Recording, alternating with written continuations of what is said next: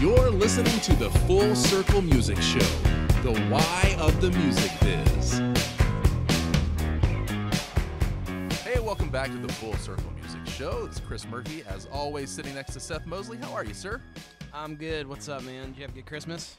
Man, had a really good one. Uh, it seems like that the year flew by, but uh, here we are at the end of the year, uh, and we've got a great interview with Mia Fieldes.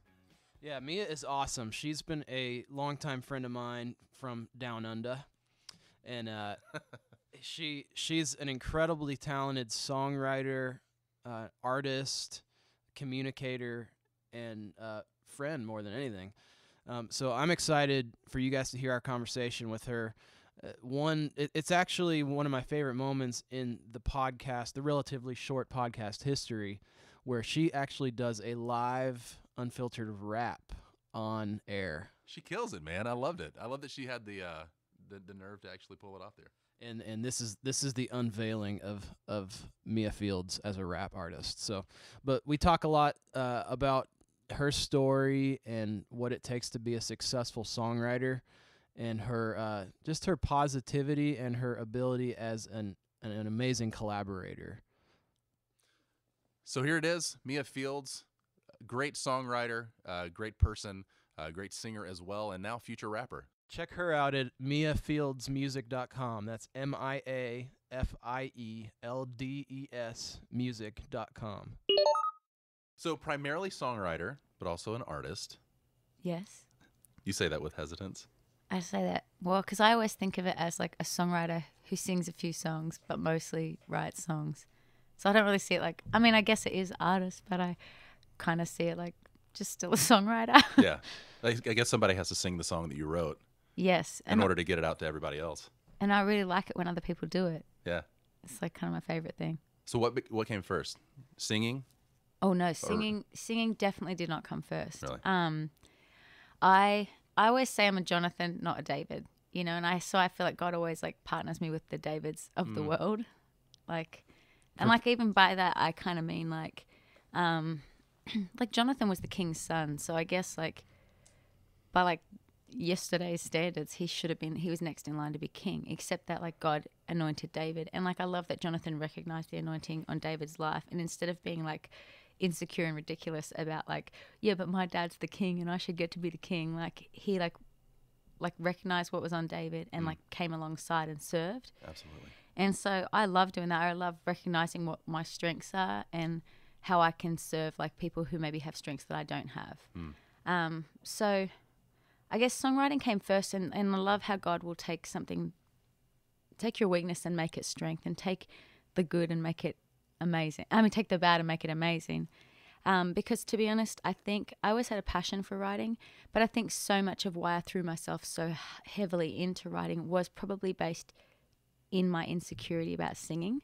I felt like I couldn't do it and I felt like I wasn't good at it. And so I thought, well, if I'm not good at it, I'll just do what I am good at. And so I threw myself into writing because I thought, well, that's still a, a way of like being involved in worship or being involved in like songs. Um, and so, yeah, for the beginning part, it probably was be- like a bit because of insecurity, um, but also because I loved songs. Um, the singing part definitely came a lot later on when I, which is, it's funny, I probably always could have done it, but I just, I really just second guessed myself a lot. And I think that's like a, something that rips people off so much. You know, we, we will blame lack of opportunity or people not affirming us or, you know, someone not believing in us. But at the end of the day, like you either believe what God has said about you or you don't. And I think for a long time I second guessed that. And it's amazing when I started just stepping out in faith and like faith is just taking a risk and actually trying when it feels like it's a bit above your head. And um, when I started stepping out and um, just doing it like more and more, I got like stronger and stronger at it. And so now I think, you know, I used to get in the studio and just freak out. And now I get in the studio and it's like so easy and quick. And so I think singing definitely came later, but I'm, I'm grateful for the journey. Yeah. Well, from what I know of of Mia's story, because we've written a, a lot of songs together. I don't know how many songs we've written together. I probably should have done my homework before today, but Could you Uh, take a, a a guess of how many? I don't know. Like five, ten, Like- twenty, Pro- hundred? probably 20, 25, Wow. maybe. Probably even more than that. Maybe more than that.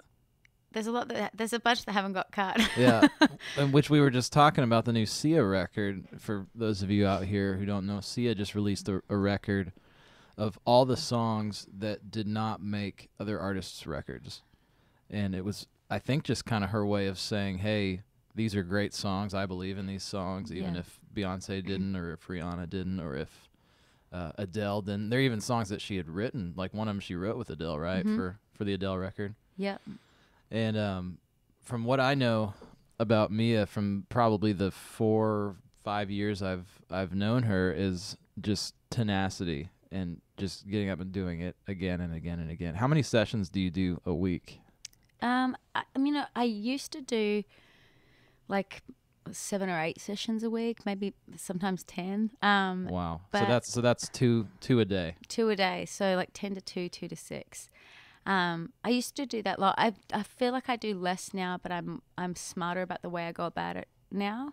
Um, I kind of think of it like a muscle, and I tell everybody it's a muscle, and like whatever you put in, you'll get out.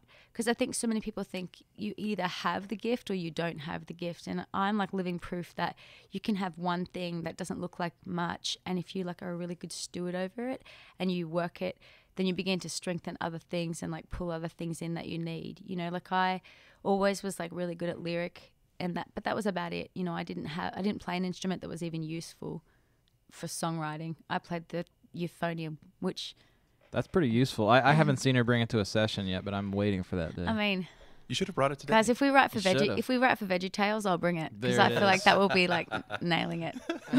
um, so I mean, I didn't even I played the euphonium, so I had to learn learn guitar and I had to like like learn rhyme, had to learn phrasing, had to learn all of it. Um, but it's amazing how like you know if you if you go to the gym twice a year and like do like go hard out you're not going to see the same results as if you just went for like 20 minutes or 25 minutes every day. You know there's there's going to be a bigger benefit of doing less consistently than doing a lot in one moment you know? And i think songwriting's the same. I don't think i think anyone can learn to write a song. I think some people are naturally given to it but i think anybody could learn. Sure. Yeah. what what was the journey that led up to the point that you were able and asked to to walk in and, and do 10 sessions a week Um, I think everything.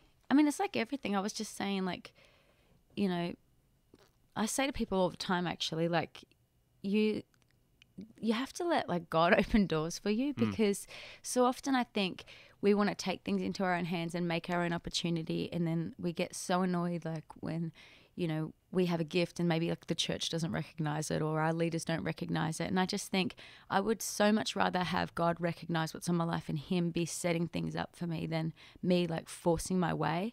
Because at the end of the day, everything's about timing, and there's so much that I'm doing now that I'm so grateful for that I so grateful that I wasn't doing it like seven years ago because I think I would have burned a lot of bridges and I just wasn't ready. Sure. Um, so to be honest, like I'm, I kind of um started writing songs when I was like 14 or 15, but I would like write letters to God every night and say like one day I'm going to write songs that go all around the world, and I didn't have the skill set, but I was like just believed in my heart that God was going to use me for something special. So I think if you rewind all the way back, like at the end of the day, you can't, you have to be convinced that God is for you and that He's He's kind and He wants you to win more than you want to win. You know. And um, so I kind of like I, I had that in my heart. I started positioning myself in environments that like would pull that gifting out. So I went to Hillsong College when I was 17. Um, I didn't do the music course. I did the pastoral course, but I was around, you know, that environment. And it's amazing how being in around an environment um, where the bar is high, it makes you reach further. Sure. And um, I would love to say, you know, someone took me under their wing and was like, "You're amazing. Let's like make you get good songs and like let's help you become everything you're called to be." And I guess in a sense, like the like the community did that, but in a way that was like, you know, have you ever seen like a, you know, like when a, when a horse is born, like the horse has to get up straight away, or a giraffe is born. They have to get up straight away. And giraffes like kick their kids until the kid gets up, like Mm. when when they're born. I don't know why I'm talking about giraffe births, but anyway. um, I'm gonna guys, Google this. Yeah, like do a little picture. Um, like everybody, like go to go go go there in your mind with me. Um, but yeah, giraffes when they have a baby, they like kick the, the they have the baby, then they kick the baby until it gets up because they like they're wanting it to like win and wanting it to survive, you know, and. And I think an environment like that is actually way healthier than an environment that like flatters you or like pampers you. So I actually am super grateful for being in a team where like I mm. would bring songs and they would say, you know, like it's great that you're writing, like, but this is not strong. You need to work on this, this, and this. You wow. know. Yeah. So it, there was no like flattery, and I'm super, super grateful for that. I'm super grateful that nobody ever did, you know, gave me a charity song on an album. You know, like oh, well, Mia's tried really hard this week. Let's just like throw her a bone. You know, like I think it's great that you know that didn't happen, and and and so my story wasn't one of like guessing and guessing and guessing, and then finally like having a win. It was one of like consist like for the last 14 years, it's been one of consistently just plugging away and getting better and better and better at songs and like letting God set up all the other stuff. Wow. Yeah. That's pretty awesome. And and at the time that actually is a really good analogy because especially as a new songwriter when you're throwing your ideas out there for the world to hear for even just a room of people to hear and they say okay this is not good enough yet. It feels like getting kicked. Oh, totally. I think, um, you know, it's hard because songwriting feels so personal. And I always say, like, um, you know, if you pour your emotion into every area of life, like, honestly, it makes things quite messy. You know, anyone who's ever had a conversation with someone um, when you're emotional, you often don't say what you mean and you walk away and you think, oh, once you've processed it, you're like, oh, that was a bit ugly. But as far as art goes, I think if you pour your emotion into your art, it makes everything better. But the hard thing is when you do that, it feels super personal. So how do you like take something like and and be able to separate your your personal feeling from actually just being able to look at the song as like a craft and going, how do I get better at this? And like, what can I work on? Especially in like, you know, if you're writing for like you know church or like you know if you have like a spiritual kind of experience when you're writing the song it's hard to be like here oh well you need to change it like because you're like well no i got pins and needles when i wrote it so then obviously it's like anointed Right. but i you know i always tell people like i wouldn't put that much pressure on a song like the song's anointed but i think like i go i don't think that's how god works i think god anoints hearts which kind of frees you up and goes i'm anointed and so like what i bring i can like change it or i can you know be flexible with it and make it better and actually like listen to what people have to say and understand that like they're trying to set me up to win Hmm. Yeah, and I think that's something we've talked about on the show before the importance of learning to be a collaborator as much as it is being a great songwriter. And, and that's something that I think I've definitely learned since moving to Nashville. And I'm, I'm sure you would say the same Oh, thing. I mean, a lot of the time it's what you bring in at the beginning might just be the, the spark that starts something completely different or whatever. So- totally 'Cause Mia always has. I mean, she's so prolific. She has okay. Here's my titles today. She comes in with her her books of titles, five titles or whatever. I got this song. I'm gonna write this song. This song, and it's it's amazing how fast and how creative and how prolific her brain works. But even more amazing is learning to be able to collaborate and throw those ideas out and just let them kind of become what God wants them to be or whatever the artist wants them to be at the Totally. moment. You know, so Totally. Uh, honestly, I think um, the healthiest thing that a writer can do is like be in a community and like be listening and like be like contributing. Um, I think an unhealthy environment for a writer is like being so insular about your gift and then only like, you know, I have so many people say like, oh, you know, I'll have like honestly like three or four people email me a week or talk to me at conferences about like, oh, can we write a song? And I'll think like, yeah, but you've just been writing for like two weeks. Like you just picked up a pen two weeks ago. Like, and I and I just think like that's not healthy. And I'll say to them, you know, the healthiest thing for you to do, or even they'll say, can I show you a song? And I'll think, yeah, but what do you want me to do about it? Because at the end of the day, like I can critique it, but then what are you going to do about your next song? Like it's not helpful to you. The most helpful thing you can do is develop your instincts. And the way you do that is by like being in community and, and listening to what people are saying and learning to like gauge what's worth digging your heels in about and what's not, you know? And I'll say to people like, oh, you should like, you know, you should show some of your songs to some some some of your friends like that, you know, are doing music and they were like, well, no one's no one's a songwriter around me. And I think, well, people don't have to be songwriters. You know, show a musician who's better than you. Show a singer who's like better than you. show someone who's like a really great communicator at the lyric and see what they think. You know, there's always something, and it's amazing how like we, so many people want, um, so many people want community and want it to look a certain way. When I think usually the people that you need are right in front of you.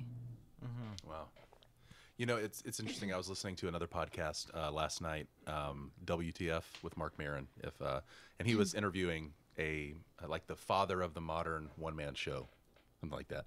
And uh, this guy was getting into uh, directing or writing for screen and stuff like that. And so he sat down with Oliver Stone, uh, another famous director, and was like, "What what should I do to you know to create my cra- craft to become better? What you know, give me some tips." And he's like, "Just keep doing it.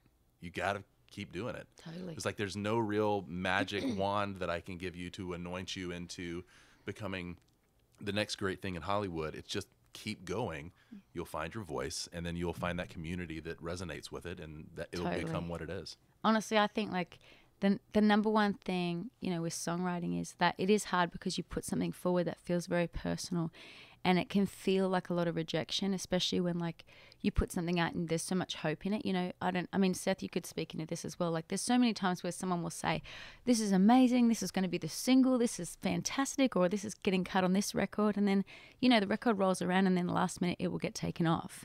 And I just have learned like to not hold my breath about things and put my expectation not in like outcomes, but in like knowing that I'm like working hard and I'm getting better at what I do, um, and and just understanding that it's not rejection and that perseverance. Usually, like the people that have persevered are the ones who are still around. You know, all the writers that we write with in town, the people that just kept at it and kept going. Um, not necessarily the most talented, even though Seth Mosley's like like stupidly talented. Yeah, agreed. agreed. I, I am I am way underqualified for for anything that I've ever been involved in. So that is not true at all I think that's how we all feel. Well, That's why we all need each other. Like that's you know, and that's why co-writing's beautiful because I think, you know, the things I'm I'm really not good at. Um, like if you guys saw me play the guitar, you would laugh your head off because it's I'm terrible. I only know two rhythms and they're both bad. Um, prove it. I mean, I don't want anyone to turn the podcast off. So, um, but you know, like the things that I'm not good at, like I always get partnered with people that like are so much better than me, and so, like in in makeup for like the areas that I'm weak in. And I think, well, that's the beautiful part. The things we feel unqualified for, underqualified for, you end up partnering with people who are overqualified for it, and then like everything ends up way stronger. Hmm. You know, I always I always say like for any writers, like get into co-writing because like how fantastic to understand let's start to learn that, that like the community it takes a village it always takes a village um, and the community is so good for you letting people speak into it so you don't become overly precious about your art is really important um, I don't When know if people out there realize how many writers there are on some mega pop hits. I was just looking at a Billboard article the other day, and I think it was Uptown Funk, which was one of the biggest songs of the last, I don't know, five years. Has I, I think it's twelve writers on it. Good which grief. is craziness like Yeah, and and then there was another one that was a big Pitbull hit called Timber with Kesha on it, and that one Mhm. had fourteen writers on it, wow and and that's not unusual. mm-hmm. So it's I think people would be surprised if they saw how much. Uh, if I, they'd be shocked if they if they saw on the charts and they saw how many of those were written by one writer.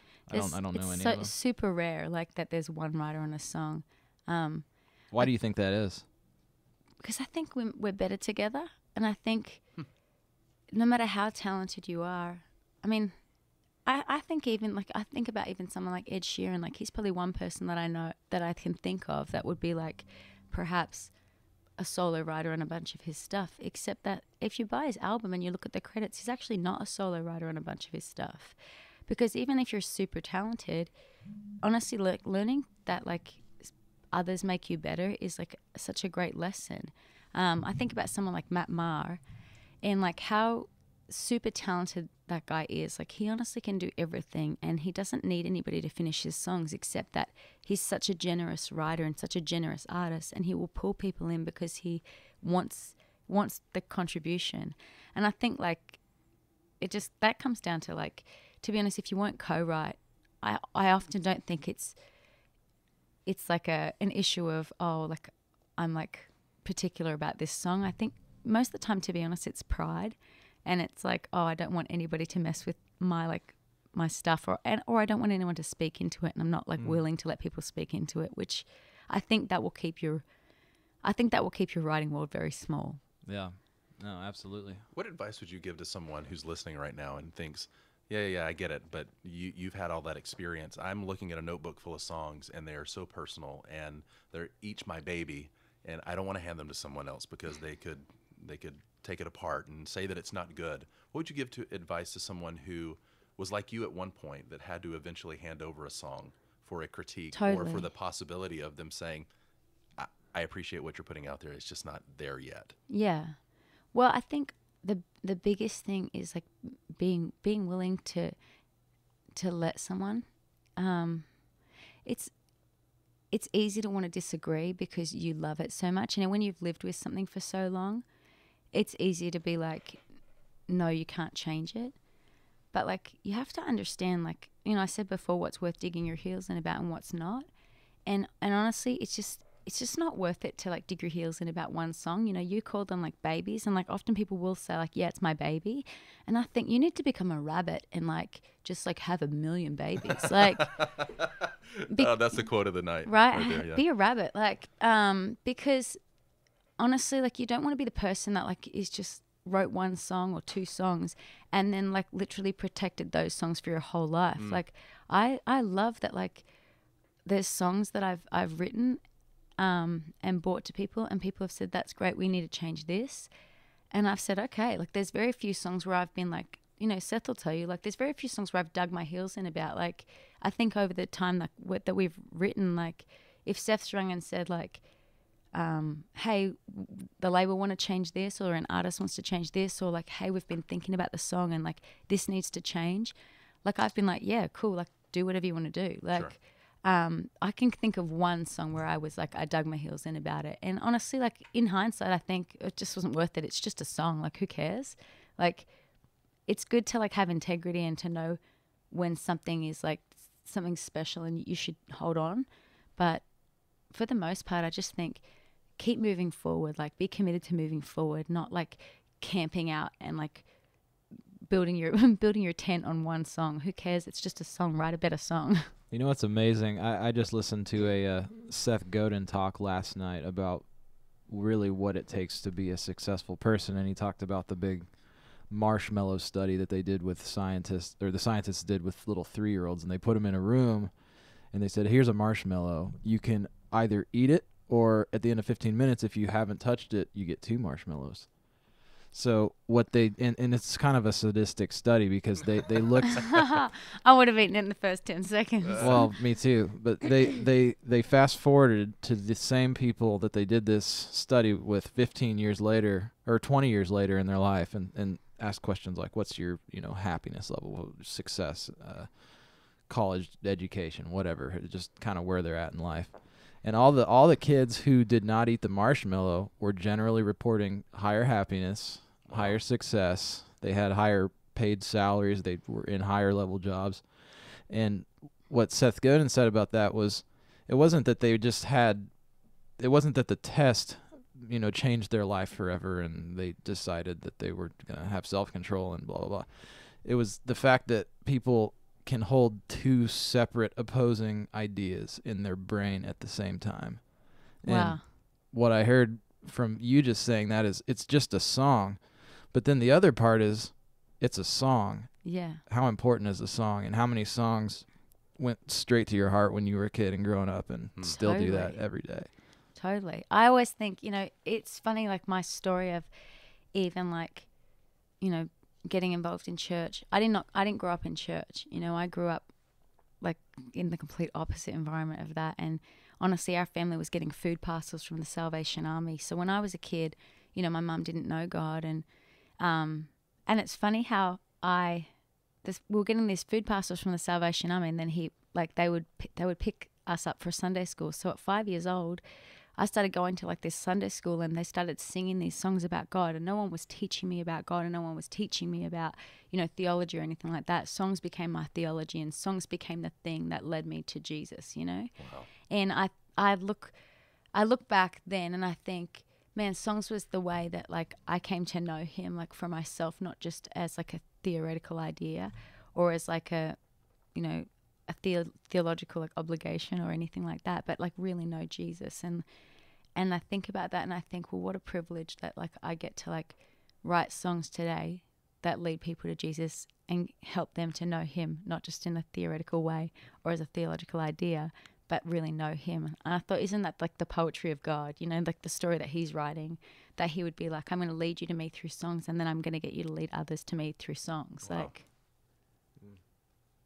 It's good. That's a, yeah. Again, like what you're saying, that a song. Uh, I mean, you could write three in a day, or uh, you know, and so some of them could be tossed away. But there's that one that doesn't just speak to you, uh, but someone 20 years from now is going to think back on that song like, oh, that's the thing. That's I remember the exact moment that I first heard that song, and it still speaks to me in that same way. Totally. Well, So that's the thing that makes it worth it, huh? You know, like I, it is that, that that thing of two ideas of being like, well, I don't want to be like overly precious and like, like dramatic about one song and like because to be honest, like I think as a younger writer, I was I was fairly reactive and fairly dramatic about like songs, but I think as well it was because so much of it I felt like I was guessing and I really didn't know what I was doing, and so it took so much more effort because I hadn't worked on the craft and I hadn't had some years with just getting familiar with like you know just the different like fundamentals of songwriting.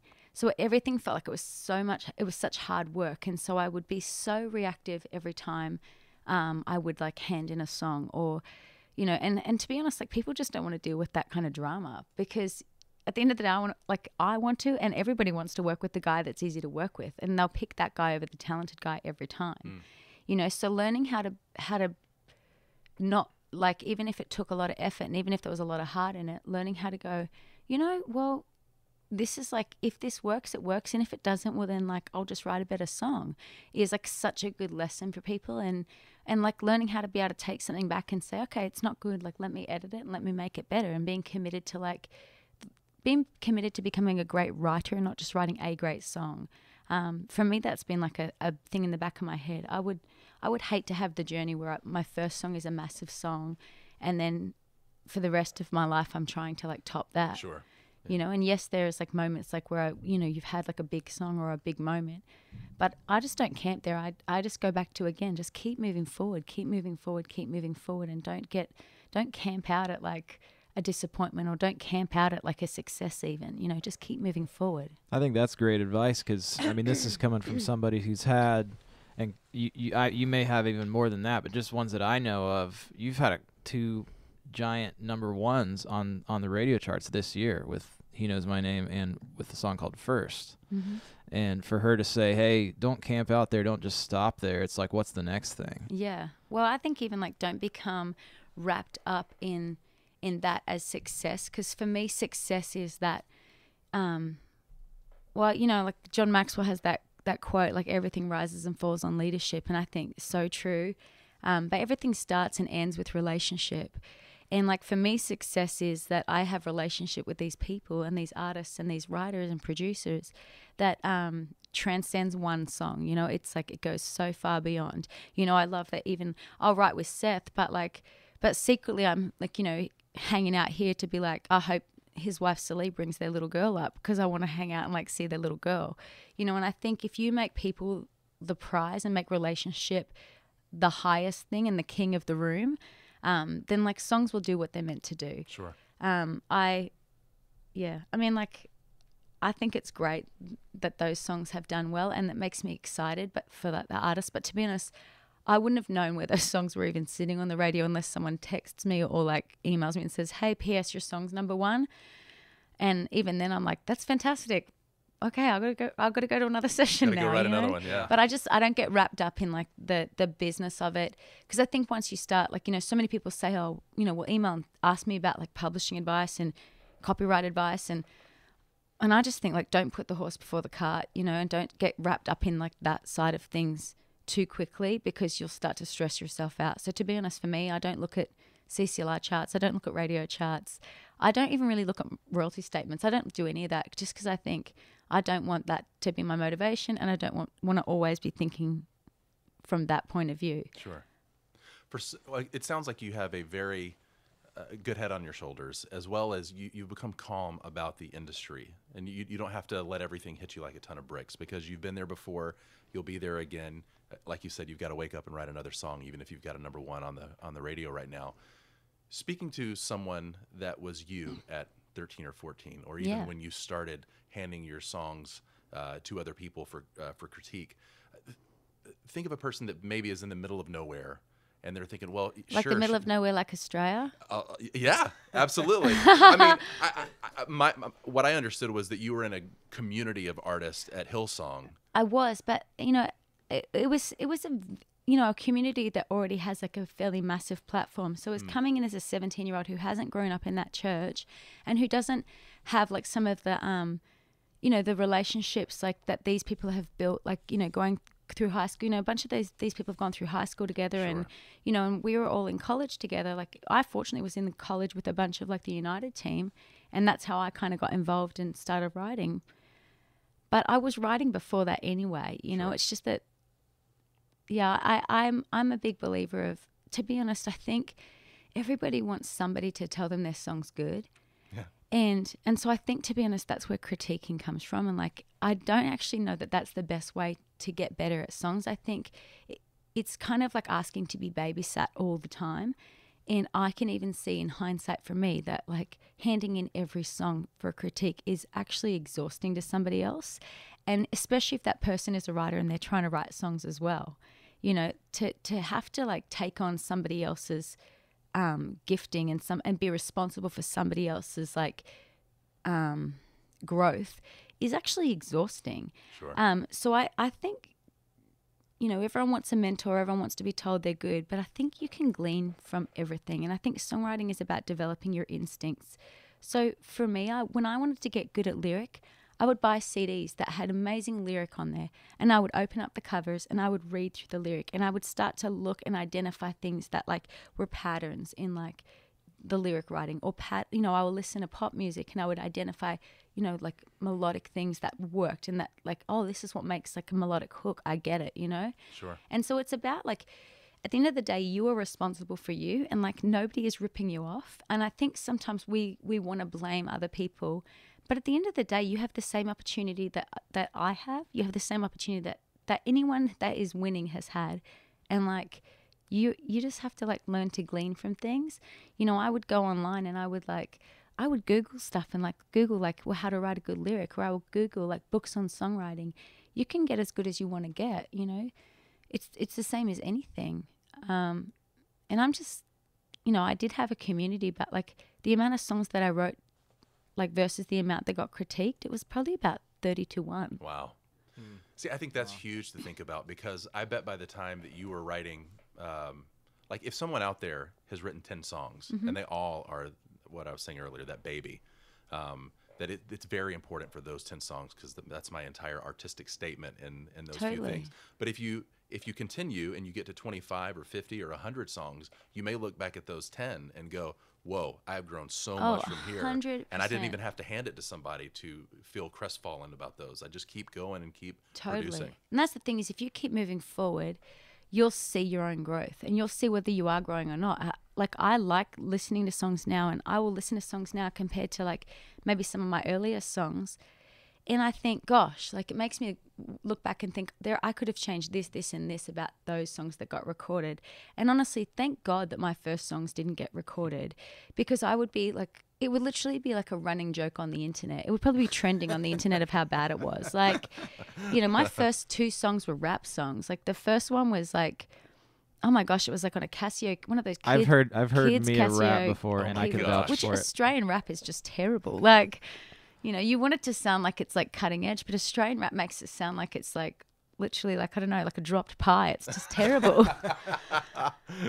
um, We'll have to find that for the show. Do you Oh, have a recording of your rap song I do not, anywhere? fortunately. But the worst thing is I can remember the whole thing. Like, Why don't- can you give us like ten seconds? oh of it? yeah, totally. Um, like honestly, it was like a Casio little Casio keyboard, and I didn't know how to play the keyboard, so I just would like you know, do this like bass line on like, you know, with my left hand, like, and it was out of time. And I'm it was so like, excited about this. it was like it was like dun dun dun dun dun dun dun dun dun dun dun dun dun dun. My first two songs that was the bass line, like for both songs, no That's a good differences. bass line. I mean, like yeah, I didn't always hit the right notes, but it was all good. Yeah, Um, okay. But it was like it was very ahead of its time. So there was like you know a singing bit the girls would do, and then like the girls would sing like Jesus, Jesus, and then the boys over the top would say Dream a dream, a new regime, shine like a sun, rise like cream, hit the light beam, yo, we've got the solution. Check it out, one two, praise revolution. It was just Whoa! it was just dreadful. Like it was like the worst song. Like the second song I wrote was a song called "You Make Me High," and it did not occur to me that like it sounded like a drug reference. Like "You Make Me High," I'm on a Jesus overload. Like that just sounds like drugs. I couldn't work out my why my worship pastor didn't love it. Um, but in hindsight, I'm so grateful that those things have not been recorded, and I'm sure that I will regret in like about five minutes that I've just Here's said the this here's online. the here's the thing. We're gonna take what she just did, put it over top of a beat, and it's gonna be on iTunes in five yeah, minutes. it's gonna oh, be. Oh, it's, cannot wait. and it's gonna be a massive That's hit. all right. I'm like, I'm gonna make my first million off like you make me high. Exactly. It's like, why why is she assuming that Jesus is selling drugs? This is this is not this is not good theology here. I don't know. Like you never know. Like the stoners of the world might be like, I came to Christ through that song. Like you make me high. Finally, a Jesus So- I can get behind. Yeah, I realized like that Jesus is the natural high in life, not anything else. it's organic. yeah. Oh gosh, I could do this all day. Color- they might like it in Colorado and California. That is very true. Man, I again, I feel like we could sit and talk all day, but I don't want to keep you because. I'm sure you have to go write uh, three or four songs. Oh, uh, yeah, like you, I've got- leave here. All the songs. But I, such good actionable advice, uh, especially for those that, uh, like I was years ago, uh, and sometimes I am when I'm all alone right now, and I write a song. It's like, ugh, this is too much a piece of me. Uh, but putting it out there, that's the, the vulnerability of that, and the perseverance to just keep doing it. Keep doing it. Honestly, everyone I know that is successful at this has been in it a long time. And they kept doing it and they, they kept listening because it's one thing to keep doing it um, and protecting your gift. But it's another thing to be generous. And I've found that the word of the generous always gets larger and larger and larger. So be generous with your gift. Gosh, Awesome. Well, thanks so much for being on the show with us today. Loved it. this is a lot of fun. So much fun. Maybe we'll have you back again, and it, there will be no questions. It'll, It'll just, just- be you rapping. Just rapping. Yeah. Yeah. Oh my yeah, gosh. yeah. I would love that. I'm going to start preparing Yeah. immediately. Thank you, Mia. Thank you. Hey, we hope you've enjoyed this episode and will join us again soon on the Full Circle Music Show, the why of the music Check us out at fullcirclemusic.org slash podcast.